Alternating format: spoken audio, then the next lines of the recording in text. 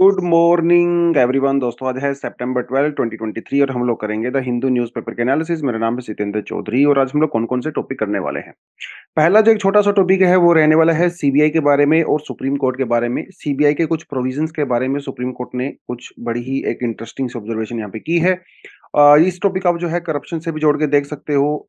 जो corruption senior level पे होता है, जो गवर्नमेंट ऑफिशियल्स होते हैं जो सीनियर आईएएस ऑफिसर होते हैं आईपीएस ऑफिसर होते हैं उनको जो है करप्शन से कैसे डील किया जाए वो इस आर्टिकल के बारे में बात करेंगे। इसे आप जीएस पेपर टू और जीएस पेपर थ्री दोनों से कवर कर सकते हो।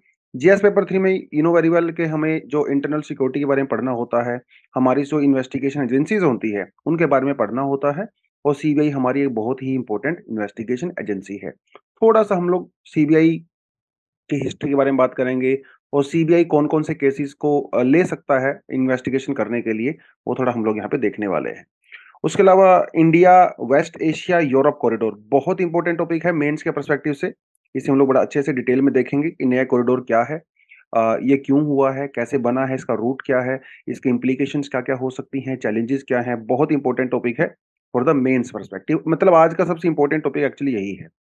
उसके अलावा ग्रीशम लॉ के बारे में बारे में बात करें, इकोनॉमी का एक छोटी-सी टर्म होती है। हालाँकि हमें कोई इकोनॉमिस्ट तो बनना नहीं है, लेकिन थोड़ा-सा ग्रीशम लॉ के बारे में हमें हल्का-सा आइडिया होना चाहिए। होता क्या है, कैसे काम करता है और प्रेज़ेंट सिनेरियो में ये न्यूज़ में क्यों है? वो थोड़ा हम लोग यहाँ पे देखेंगे। वैसे तो इंटरेस्टिंग है, लेकिन बहुत ज़्यादा डीप आपको जानने की रिक्वायरमेंट नहीं है। क्योंकि इस तरह के जो लॉज़ होते हैं, वो ज़्यादातर जो इकोनॉमी का जिनको ऑप्शनल होता है स्टूडेंट्स का, उनके लिए होता है।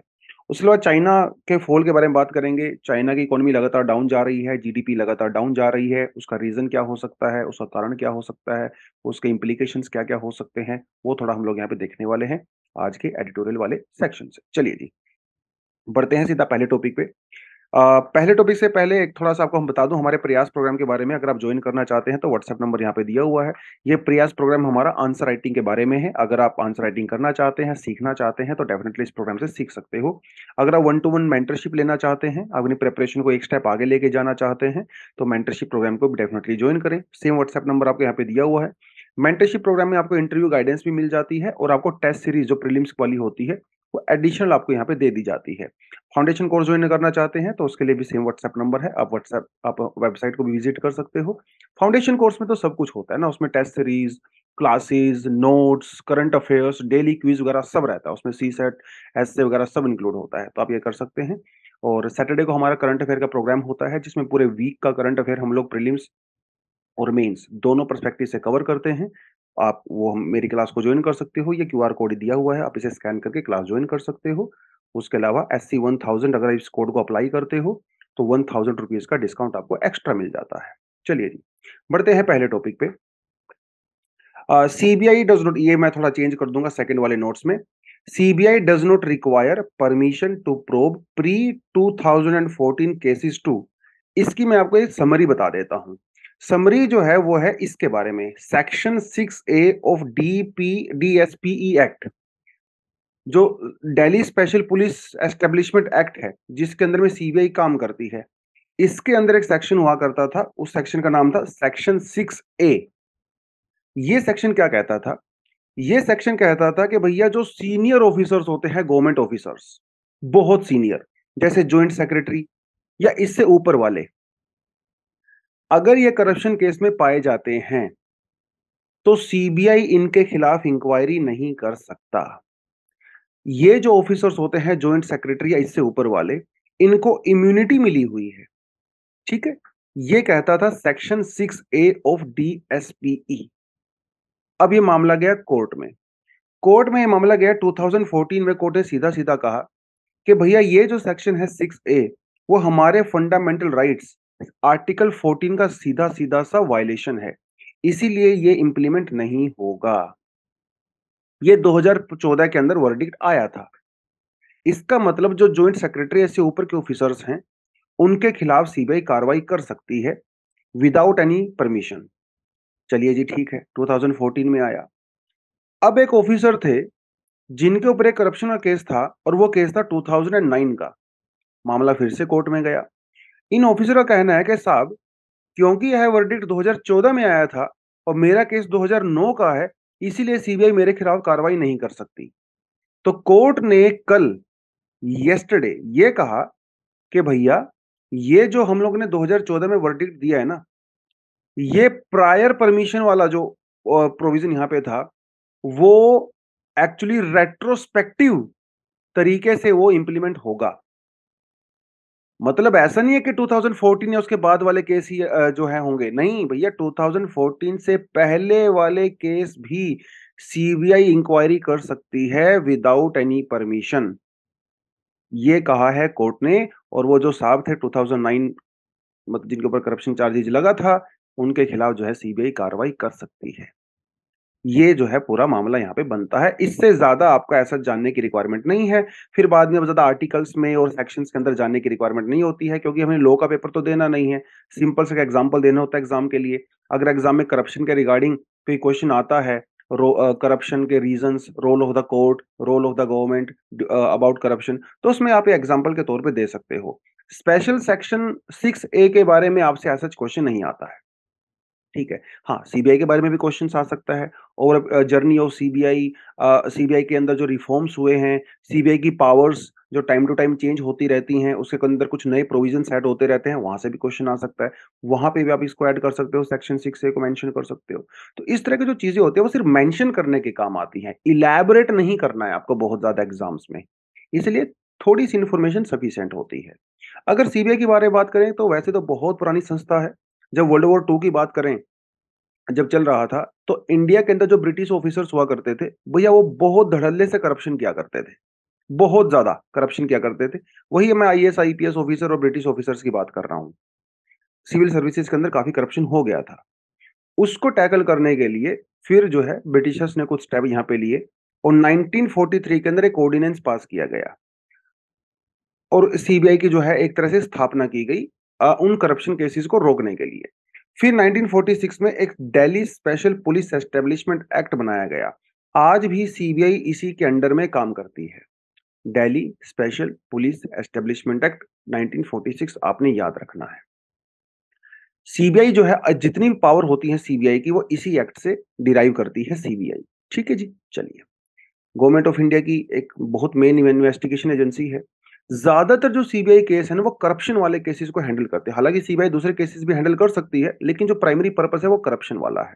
और किसके अंडर सुपरविजन में काम करती है CBI CVC central vigilance commission और कौन कौन से मैटर को हैंडल करती है? Prevention of the corruption act 1988 ये थोड़ी सी आपको लीगल सी चीज़ें हैं, याद रखनी है एग्ज़ाम के लिए मेंस में और क्लिम्स दोनों में आपको काम आएगा। अब कौन कौन से केसेस होते हैं जो सीबीआई हैंडल कर सकती है?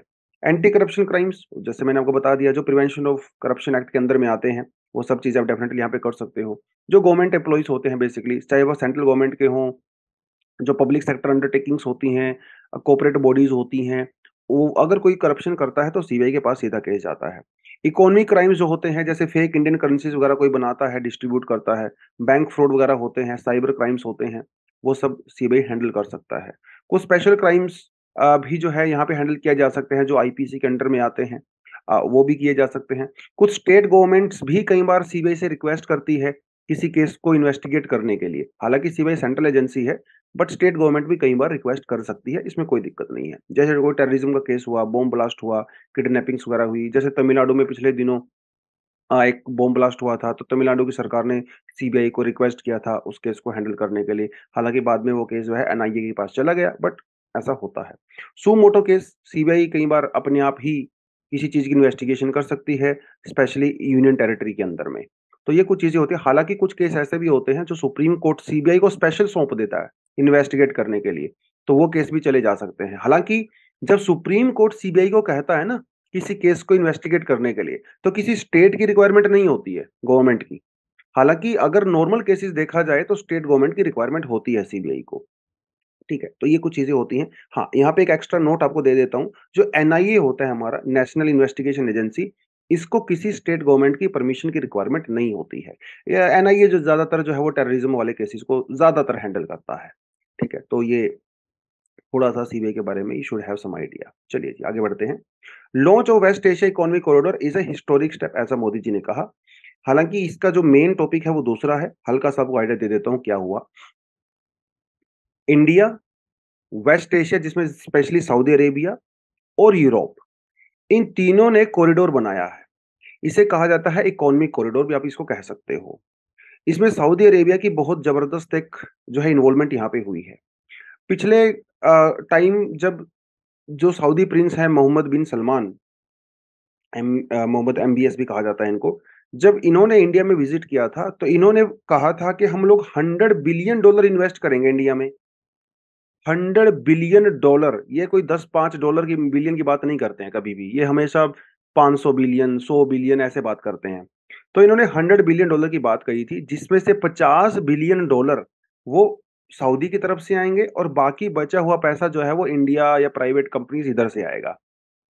तो इंडिया सऊदी अरेबिया के रिलेशन बहुत अच्छे जा रहे हैं, जिसमें आप defence, energy, security, education, technology वगैरह, इन सब में हम लोगों ने इन्वेस्ट करना है।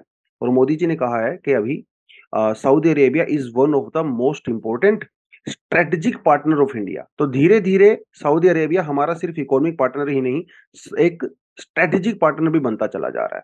तो पचास बिलियन डॉलर का मैंने आपको बताया तो वो अलग अलग हुआ। है ज़्यादातर ये जो पैसा जाएगा ना, वो रिफाइनरी फ़ील्ड में जाएगा, क्योंकि सऊदी से हम लोग पेट्रोलियम करते हैं, इंडिया की जो रिफाइनरी इंडस्ट्री है, वो वैसे ही बहुत इंपॉर्टेंट है और वर्ल्ड नोन है। बहुत ज़्यादा एडवांस है हमारी रिफाइनरी इंडस्ट्री तो अरमाको जो सऊदी की सबसे बड़ी कंपनी है A N O C Indian कुछ कंपनी होंगी रिलायंस वगैरह, उनके साथ डील करके हम लोग ये सब करेंगे।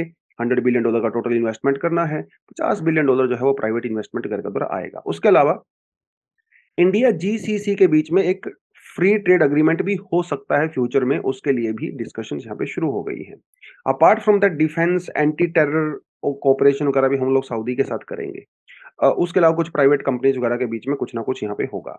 उसके अलावा हमारा जो नेशनल इंस्टीट्यूट ऑफ़ टेक्नोलॉजी है एनआईटी और जो सलाइन वाटर कंजर्वेशन कॉर्पोरेशन है सऊदी अरेबिया का, इनके बीच में भी कुछ डील हुआ है।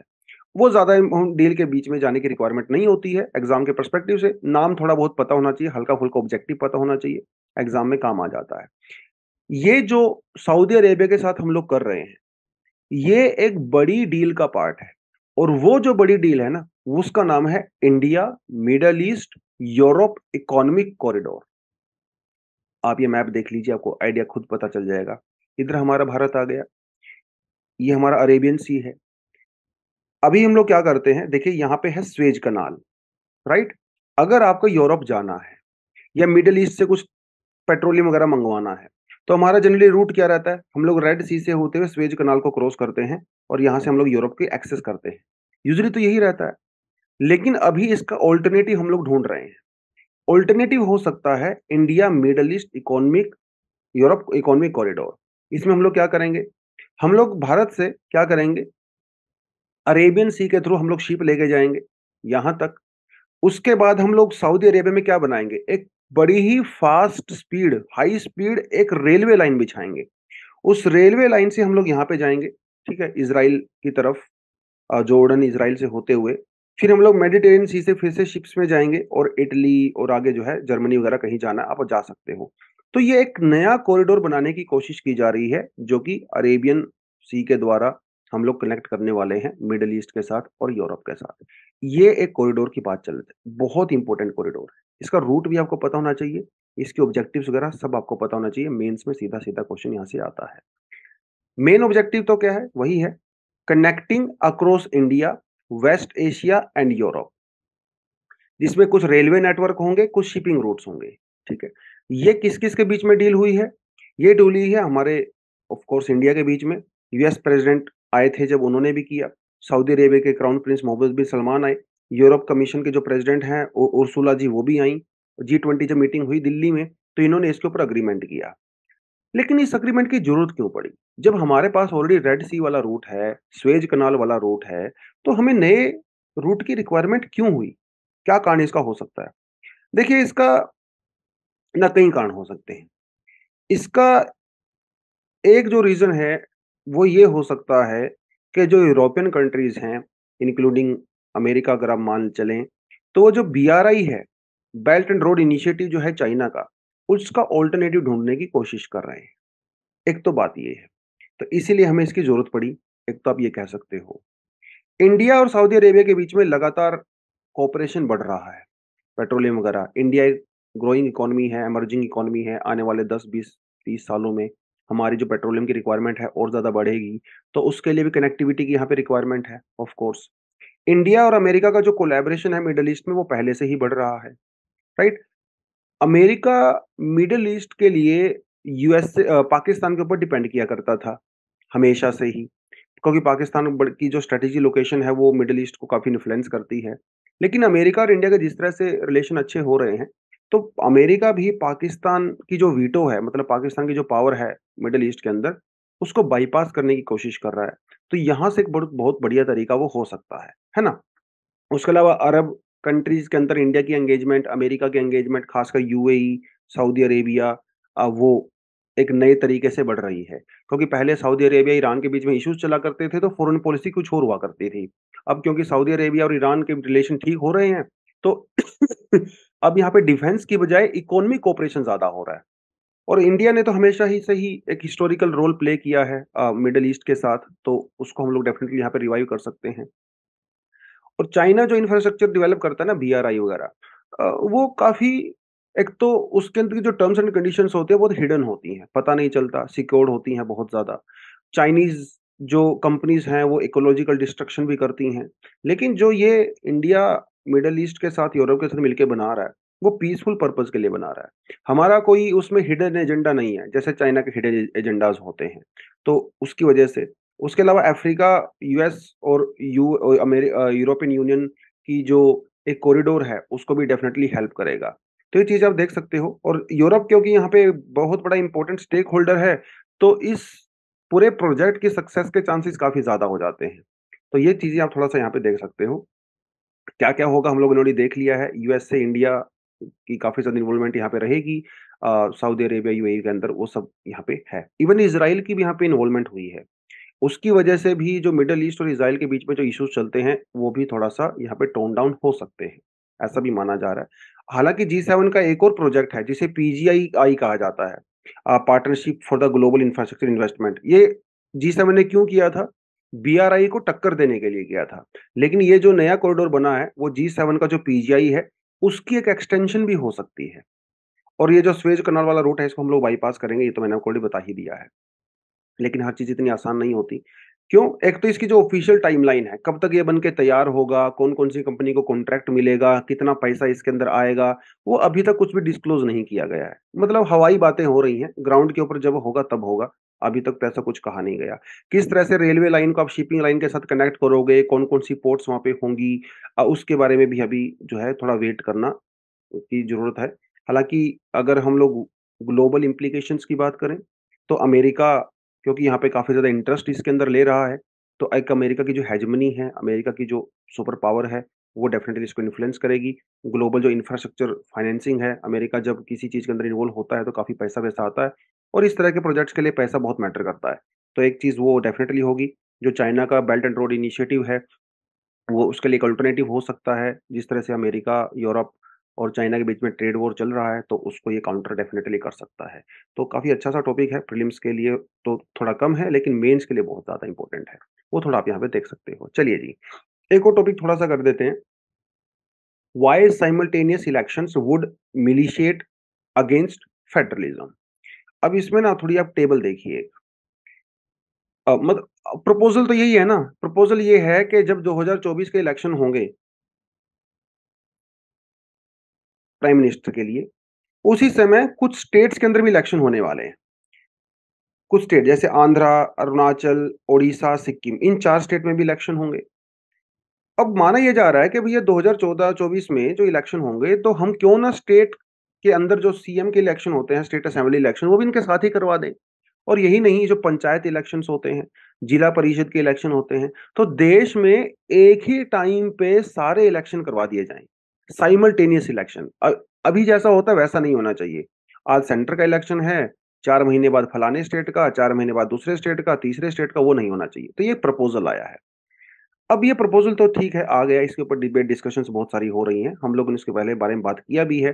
साइमल्टेनियस इलेक्शन के पॉज़िटिव पॉइंट्स क्या है नेगेटिव पॉइंट्स क्या है ऑलरेडी हम लोग लास्ट वीक इस टॉपिक को दो बार कर चुके हैं। लेकिन सवाल ये उठता है कि अगर 2024 में सेंटर और स्टेट के इलेक्शन अगर एक साथ होते हैं, तो कई सारी स्टेट ऐसी हैं, जिनका जो टेन्योर है 5 साल का होता है उसको कट डाउन करना पड़ेगा। जैसे कर्नाटका 47 मंथ कट डाउन करना पड़ेगा। क्योंकि कर्नाटका में अगर लॉजिकली देखें अभी थोड़े समय पहले ही इलेक्शन हुए थे पिछले साल। अगर हम एक साथ इलेक्शन करवाते हैं तो 47 मंथ का टेन्योर को कट डाउन करना पड़ेगा। मेघालय में 45 मंथ, गुजरात में 42 मंथ्स, उत्तराखंड में 33 मंथ्स, बिहार में 17 मंथ्स कट डाउन आपको करना पड़ेगा। राइट? तो क्या ये आप कट डाउन कर सकते हो? और क्या करना चाहिए? इसका आंसर है नहीं।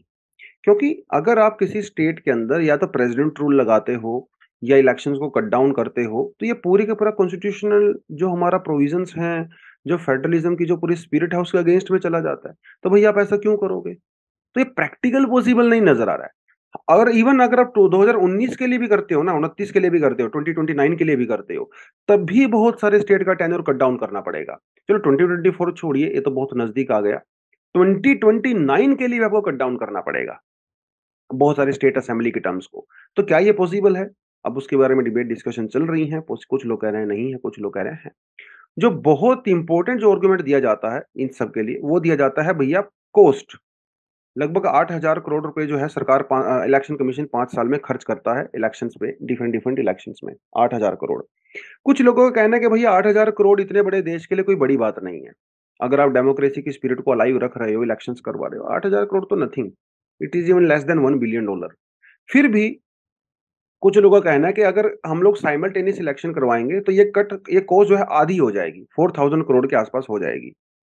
लेकिन फिर आर्गुमेंट आता है कि हम लोग कॉस्ट के ऊपर इतना फोकस क्यों कर रहे हैं? कहीं ना कहीं ऐसा माना जा रहा है कि ये जो पैसा है वो वेस्ट है। अरे भाई इलेक्शन करवाने में जो पैसा लग रहा है वो वेस्ट नहीं है। आप इसको वेस्ट की तरह क्यों ट्रीट कर रहे हो?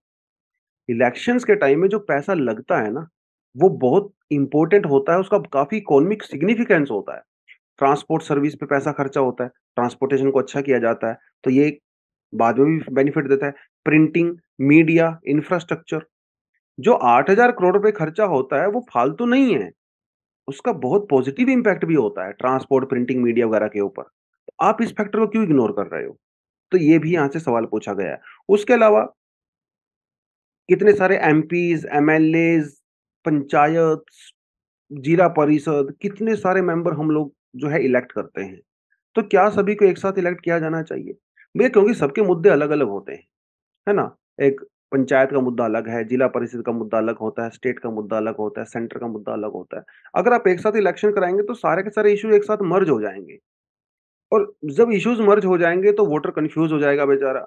उसकी जो क्वालिटी ऑफ़ वोट है वो कम हो जाएगी और ये फेडरलिज़्म के भी तो अगेंस्ट में है ना। तो इस आर्टिकल के अंदर बेसिकली यही अ, जो है वो बताया गया है कि ये सब चीज़ें नहीं होनी चाहिए। फेडरलिज़्म एक हमारा बेसिक स्ट्रक्चर भी है और फेडरलिज़्म को हर हालत में जितने लेवल पे इंडिया में एग्ज़िस्ट करता है उसको प्रोटेक्ट भी किया जाना चाहिए।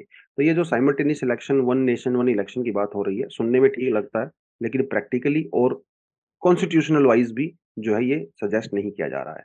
तो ये थोड़ी-सी चीज़ आप यहाँ पे देख सकते हो। चलिए जी। Gresham's law what happens when government fix currency exchange rates. बहुत ज़्यादा डिटेल में नहीं जाना है, हल्की-फुल्की आपको चीज़ें बता देता हूँ क्या होता है। देखिए, ग्रीशम लॉ क्या कहता है? ग्रीशम लॉ ये कहता है कि जो बैड मनी होती है, एक होती है गुड मनी। जब इकोनॉमी के अंदर कोई बैड मनी होती है, उसकी सप्लाई धीरे-धीरे, धीरे-धीरे कम हो जाती है और वो सिस्टम से खत्म हो जाती है। जो गुड मनी होती है, वो धीरे-धीरे, धीरे लोग उसको एक्सेप्ट करने लगते हैं और बैड मनी खत्म होने के साथ-साथ लोग गुड मनी मार्केट में रह जाती है। अब सवाल ये उठता है कि बैड मनी क्या है, गुड मनी क्या है? उसके लिए आपको मैं छोटा-सा एक एग्ज़ाम्पल देता हूँ। देखिए, पहले क्या होता था राजा-महाराजाओं के टाइम में बहुत पहले क्या हुआ करता था, जो है गोल्ड कॉइन्स बना करते थे, है ना? या सिल्वर कॉइन बना करते थे। गोल्ड कॉइन और सिल्वर कॉइन की एक वैल्यू हुआ करती थी। इस आजकल भी तो कॉइन बनते हैं। आजकल एक रुपए का कॉइन है, मान लो या दो रुपए का कॉइन है। इसकी भी एक वैल्यू है। जितनी उसके ऊपर वैल्यू लिखी होती है दो रुपए उतनी ही उसकी वैल्यू होती है। सरकार चाहे तो इसके ऊपर जो है ₹10 भी लिख सकती है, इसकी ₹10 की वैल्यू हो जाएगी। अगर चाहे गवर्नमेंट तो इसके ऊपर ₹100 भी लिख सकती है, इसकी ₹100 वैल्यू हो जाएगी। जबकि इसके अंदर जो मेटल यूज़ हुआ है, वो चेंज नहीं हुआ है। सिर्फ़ इसके ऊपर जो वैल्यू लिखी गई है, वो चेंज हो गई है। इसका मतलब ये जो कॉइन है आजकल हम लोग यूज़ करते हैं, इसकी कोई इंट्रेंसिक वैल्यू नहीं है। मतलब इसकी मेटल की कोई वैल्यू नहीं है। मेटल तो एक रुपए का पचास पैसे का, 25 पैसे का होगा मैक्सिमम, लेकिन वैल्यू कितनी है ₹100 पहले जो गोल्ड कॉइन, सिल्वर कॉइन बनते थे, इनकी एक इंट्रिंसिक वैल्यू हुआ करती थी। है ना? इंट्रिंसिक वैल्यू हुआ करती थी। मतलब खुद भी तो गोल्ड है ना। अगर आप इसको मेल्ट कर दोगे, तब भी इसकी वैल्यू उतनी ही रहेगी। अगर मेल्ट नहीं करोगे, तब भी वैल्यू उतनी ही रहेगी। तो इसे इंट्रिंसिक कहते हैं। अब क्या हुआ धीरे-धीरे गोल्ड और सिल्वर कॉइन को जो है वो कॉपर कोइन में कन्वर्ट हो गया। कुछ राजा महाराजों ने लेटर ऑन कॉपर कॉइन बनाना शुरू कर दिया। लेकिन उन्होंने कहा कि भैया इसकी वैल्यू उतनी ही रहेगी। मतलब मान लो एक गोल्ड कॉइन से आप क्या करते थे, गोल्ड कॉइन से आप 100 केजी व्हीट परचेज़ कर सकते थे, पहले। गोल्ड कॉइन या सिल्वर कॉइन से। राजा ने क्या किया? उन्होंने कहा कि नहीं, नहीं, हम लोग कॉपर कॉइन बनाएँगे और उस कॉपर कॉइन को कहा कि इससे भी आप हंड्रेड के जी वीट परचेज़ कर सकते हो। इसका मतलब ये हुआ कि जो कॉपर कॉइन है, इसकी कोई इंट्रिंसिक वैल्यू तो है नहीं। हंड्रेड के जी वेट वीट खरीदने की, जबकि इसकी इंट्रिंसिक वैल्यू क्या थी? अब इसका मतलब ये हुआ कि जो कॉपर कॉइन है, इसको ओवर वैल्यू कर दिया गया। इसकी एक्चुअल वैल्यू हंड्रेड के जी वीट खरीदने की नहीं है, लेकिन इसे आप खरीद रहे हो क्योंकि राजा ने बोला है। इसे कहा जाता है ओवर वैल्यू करेंसी, जबकि जो गोल्ड सिल्वर है इसको आपने अंडर वैल्यू कर दिया। एक्चुअल में गोल्ड सिल्वर की वैल्यू बहुत ज़्यादा है, लेकिन आपने इसको अंडर वैल्यू कर दिया, जबकि कॉपर की एक्चुअल वैल्यू बहुत कम है, आपने इसको ओवर वैल्यू कर दिया। तो कॉपर को कहा गया यहाँ पे बैड करेंसी और गोल्ड सिल्वर को कहा गया यहाँ पे गुड करेंसी, गुड मनी और उसको बैड मनी, आप ऐसे कह सकते हो। तो धीरे-धीरे क्या होगा, लोग क्या करेंगे? कॉपर कॉइन लेंगे, मार्केट में जाएँगे उससे हंड्रेड के जी वीट खरीदेंगे। उस हंड्रेड के जी वीट से गोल्ड कॉइन खरीद लेंगे। है ना? ऐसे ही तो होगा धीरे-धीरे क्योंकि कॉपर कॉइन सस्ता है, गोल्ड कॉइन महँगा है, तो आप सस्ते से महँगा खरीद सकते हो आराम से। तो लोग क्या करेंगे धीरे-धीरे मार्केट से कॉपर कॉइन को खरीदने लगेंगे और उसके बदले में गोल्ड कॉइन को परचेज़ करने लगेंगे। तो बैड मनी क्या होती है धीरे-धीरे मार्केट में इसकी वैल्यू डाउन चली जाती है। बैड मनी जाती। अब राजा क्या करेंगे उधर जो किंग बैठे हुए हैं, वो देखेंगे यार मार्केट में कॉपर तो बहुत कम हो गया, तो कॉपर को प्रिंट करने लगेंगे। कॉपर कॉइन को मिंट करने लगेंगे, प्रिंट करने लगेंगे। तो मार्केट में जैसे-जैसे कॉपर आता रहेगा पीछे से, प्रेस से जो बन के आता रहता है, कॉपर कॉइन, लोग क्या करते रहेंगे कॉपर के बजाय गोल्ड को परचेज़ करने लगेंगे। तो धीरे-धीरे क्या होता है मार्केट में गोल्ड की वैल्यू बहुत ज़्यादा बढ़ जाती है और कॉपर की वैल्यू बहुत ज़्यादा कम होनी शुरू हो जाती है क्योंकि ओवर सप्लाई हो गया। जिस चीज़ की सप्लाई ज़्यादा होती है उसकी वैल्यू अपने आप ही कम हो जाती है। अब ये ग्रीष्म लो यहाँ पे काम करता है। ग्रीशम लो ये कहता है कि मार्केट से जो बैड मनी होती है, जो कि ओवर वैल्यू होती है, हमारे एग्ज़ाम्पल में क्या है copper, copper is a bad money which is over valued, right? और गुड मनी क्या है हमारे केस में gold which is under valued, gold की एक्चुअल वैल्यू बहुत ज़्यादा है, लेकिन हम लोग इसको अंडर वैल्यू कर रहे हैं। ये थोड़ा आपको समझना पड़ेगा। अब श्रीलंका वाले केस में आप इसका एग्ज़ाम्पल दे सकते हो। श्रीलंका ने क्या किया, श्रीलंका की सरकार ने जो श्रीलिक श्रीलंकन रूपी था, उसकी वैल्यू को फिक्स कर दिया और ये कहा कि 200 जो श्रीलंकन रूपी है, उसके बराबर में होगा वन डॉलर। कोई भी इंसान एक डॉलर के बदले में 200 रुपए से ज़्यादा नहीं देगा। ये किसने कहा? ये गवर्नमेंट ने कहा। जबकि एक्चुअली में एक डॉलर की वैल्यू श्रीलंकन रुपी में वो जो है कम से कम 300 रुपए थी। Market value. सरकार ने कितना कहा? 200 रुपए। मार्केट वैल्यू कितनी है? 300 रुपए। अब हुआ क्या? जो श्रीलंकन रूपी है वो बैड करेंसी में कन्वर्ट हो गया। ऑब्वियसली क्योंकि मार्केट में आपको 300 रुपए मिल रहे हैं। तो जिनके पास डॉलर था, वो 200 के बजाय 300 रुपए खरीदने लगे। और जिनके पास 300 रुपए थे, वो डॉलर खरीदने लगे, क्योंकि मार्केट में उसकी वैल्यू ज़्यादा है। तो जो श्रीलंकन रुपी जो है धीरे-धीरे, धीरे-धीरे वो बैड करेंसी के अंदर कन्वर्ट होना शुरू हो गया और डॉलर की डिमांड इतनी ज़्यादा बढ़ गई मार्केट के अंदर कि डॉलर की वैल्यू बहुत ज़्यादा चली गई और धीरे-धीरे श्रीलंकन रुपी की वैल्यू बिल्कुल खत्म होती चली गई। ऐसा ज़िम्बाब्वे के अंदर भी हुआ। ज़िम्बाब्वे के अंदर उसकी लोकल करेंसी बिल्कुल खत्म हो गई, ज़िम्बाब्वे की क्योंकि वहाँ पे हाइपर इन्फ्लेशन हो गया। हाइपर इन्फ्लेशन की वजह से ज़िम्बाब्वे की करेंसी की वैल्यू डाउन चली गई और डॉलर की वैल्यू जो है बढ़ती चली गई। ऐसा श्रीलंका में भी हुआ। तो श्रीलंका में ऐसा क्यों हुआ क्योंकि वहाँ की सरकार ने अपने रूपी को ओवर वैल्यू कर दिया और डॉलर को अंडर वैल्यू कर दिया। जिसकी वजह से डॉलर की एक्चुअली जो कीमत थी, रुपी के कंपैरिजन में बहुत ज़्यादा थी, लेकिन सरकार ने उसको कम कर दिया। इसे कहा जाता है कंट्रोल्ड वे मतलब जो फिक्स्ड एक्सचेंज रेट चाइना भी ऐसा करता है। चाइना ने एक्चुअली अपनी करेंसी को अंडर वैल्यू किया हुआ है। इसलिए चाइनीज़ करेंसी बैड मनी मानी जाती है, जबकि डॉलर ओपन मार्केट में फ्लोट करता है। इसलिए डॉलर को गुड मनी कहा जाता है। इसीलिए दुनिया भर में चाइनीज़ करेंसी को उतना एक्सेप्टेंस नहीं है जितना अमेरिकन डॉलर को है, क्योंकि अमेरि, जो चाइनीज़ करेंसी है, उसको अंडर वैल्यू किया गया है चाइना के गवर्नमेंट के द्वारा। इसीलिए तो चाइना की करेंसी जो है वो इतनी स्टेबल नहीं है, उसको इतना भरोसा नहीं माना जाता है। तो ये पूरा कॉन्सेप्ट होता है ग्रीशम लॉ का। ग्रीशम लॉ कहता है bad money drives out the good money धीरे धीरे मार्केट से बैड मनी खत्म हो जाती है और गुड मनी वो सर्वाइव करती है। जैसे श्रीलंकन करेंसी का आप एग्ज़ाम्पल दे सकते हो जिम्बाब्वे करेंसी का आप एग्ज़ाम्पल दे सकते हो ठीक है? हालाँकि मैंने आपको इसको गोल्ड और कॉपर का एग्ज़ाम्पल लेके बताया है वो भी आप एग्ज़ाम्पल देना चाहो तो दे सकते हो। तो ग्रीशम मनी ये कहता है। तो ग्रीशम ये कहता है कि मार्केट उसको ना फ्री रखिए। करेंसी को ना फ्री रखिए। जितनी डिमांड होगी और सप्लाई होगी उसके हिसाब से वो अपने आप को स्टेबल कर लेगा। सरकार को डिमांड सप्लाई की रिक्वायरमेंट नहीं होनी चाहिए। भाई, जिस करेंसी की डिमांड ज़्यादा होगी डेफिनेटली उसकी वैल्यू भी ज़्यादा होगी। जिस करेंसी की डिमांड कम होगी उसकी वैल्यू अपने आप ही कम हो जाएगी। और उसी हिसाब से जो है वो सप्लाई चेंज होती रहेगी। ऐसा उन्होंने कहा है इस ग्रीशम लो ने। तो ऐसा आप हर करेंसी के वे में दे सकते हो, जैसे रूपी है और डॉलर है। रूपी और डॉलर एक free floating exchange rate follow करता है। रूपी सरकार ज़्यादा मतलब 99 परसेंट केसेस में सरकार या आरबीआई कभी भी रूपी को कंट्रोल नहीं करती है। वो डिमांड और सप्लाई के हिसाब से अपने आप स्टेबल हो जाता है over a period of time कभी वो स्ट्रॉन्ग हो जाता है, कभी वो वीक हो जाता है। क्योंकि रुपी और डॉलर को मार्केट वैल्यू के साथ डिटरमाइन किया जाता है रादर देन गवर्नमेंट लेकिन जब गवर्नमेंट करने लगती है तो एक ना दिन उसकी बर्बादी हो ही जाती है। क्योंकि गवर्नमेंट जनरली अंडर वैल्यू और ओवर वैल्यू कर देती है अपनी करेंसीज को। तो ये थोड़ा सा आप यहाँ पे देख सकते हो। अब कुछ लोग कहते हैं कि सर, जो है एक डॉलर है, वो एटी थ्री रुपीज़ के बराबर है। तो क्यों नहीं सरकार इसको चेंज करती? अगर हम एक डॉलर को मान लो पचास रुपए के बराबर कर भी देते हैं तो ये क्या हो जाएगा? ये हम लोग रुपी को क्या कर रहे हैं? और डॉलर को क्या कर रहे हैं? ये एक्चुअली मार्केट रेट थोड़ी ना है। हम लोग डॉलर को एक्चुअली अंडर वैल्यू कर रहे हैं रुपी को ओवर वैल्यू कर रहे हैं।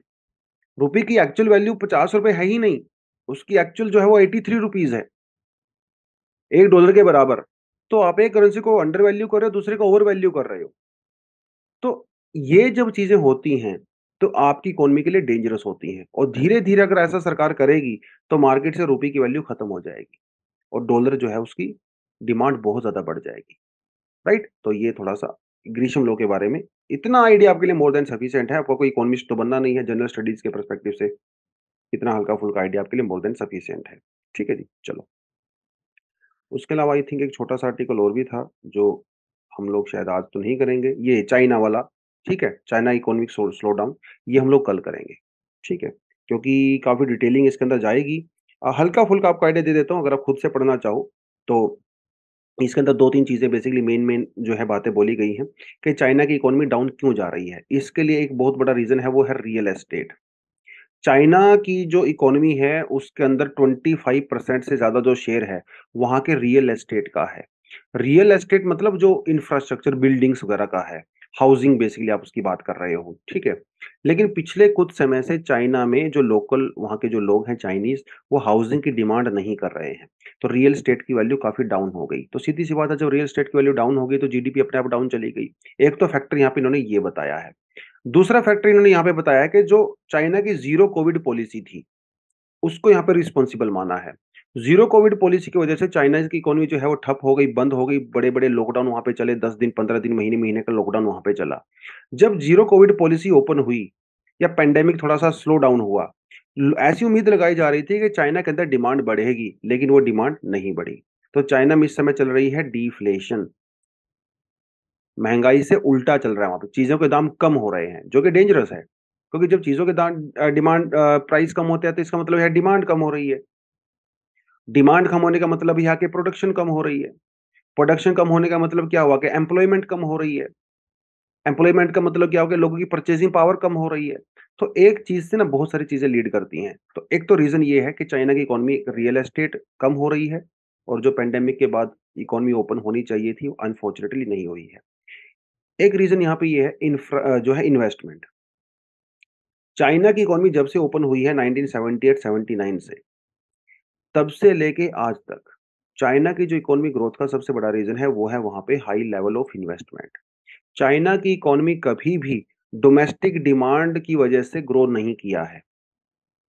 वहाँ पे हमेशा इन्वेस्टमेंट रिलेटेड ग्रोथ हुई है, डोमेस्टिक डिमांड रिलेटेड ग्रोथ नहीं हुई है। जैसे अगर हम अमेरिका की बात करें, अमेरिका की जो जीडीपी ग्रोथ है या उसकी जो इकोनॉमिक पावर है, वो इसीलिए है क्योंकि वहाँ पे 60% लोकल कंजम्पशन ड्रिवन ग्रोथ है।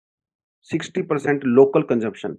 अमेर जो अगर चाइना की बात करें, this is only 20% domestic demand की वजह से सिर्फ़ 20% इकोनॉमी ग्रो करती है। 80% इकोनॉमी जो इन्वेस्टमेंट की वजह से ग्रो करती है और यू नो वेरी वेल दुनिया भर में इन्वेस्टमेंट चाइना में कम हो गया। इसका एक रीज़न क्या है? America, China trade war.